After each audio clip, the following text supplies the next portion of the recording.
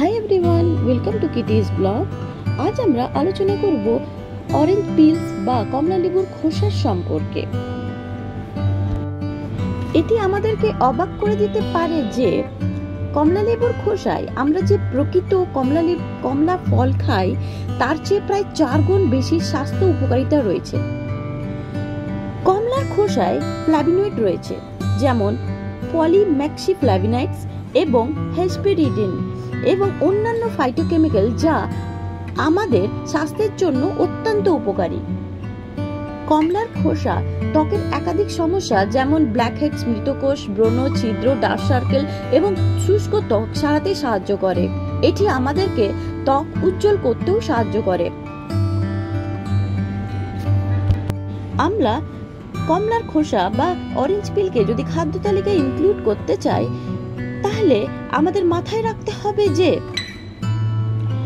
আমাদের খাদ্য তালিকায় কমলার খোসা অন্তর্ভুক্ত করতে চাইলে প্রথমে কমলা বেছে নেওয়ার ক্ষেত্রে সতর্ক হতে হবে। রসালো এবং তাজা কমলা খুঁজে বের করার চেষ্টা করতে হবে। জৈব বিকল্প অলওয়েজ ইম্পর্টেন্ট খাওয়ার আগে ক্ষতিকারক কীটনাশক পরিত্রাণ পেতে গরম জল দিয়ে কমলা ভালোভাবে ধুয়ে নিতে হবে। কমলা ত্বকের গঠন রয়েছে এবং যা যথেষ্ট শক্ত তাই এটি খাওয়ার সময় এবং হজম করার সময় অস্বস্তি হতে পারে। এখন দেখা যাক কীভাবে আমরা কমলার খোসাকে আমাদের ডায়েটে অন্তর্ভুক্ত করব।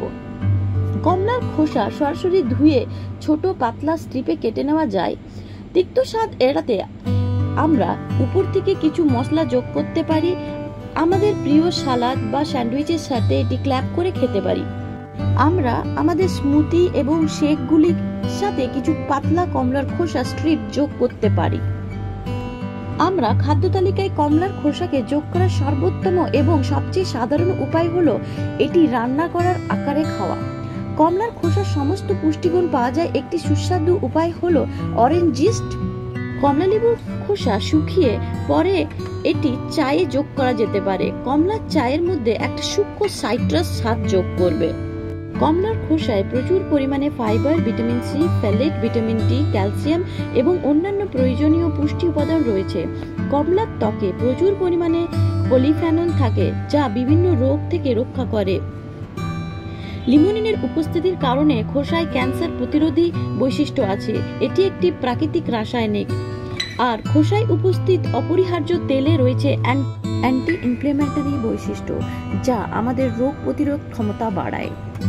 কমলালেবুর খোসা বা অরেঞ্জ পিল সম্পর্কে আজ এ পর্যন্তই। আবার দেখা হবে নতুন ভিডিও নিয়ে, নতুন টপিকের সাথে। Till then thank you bye bye take care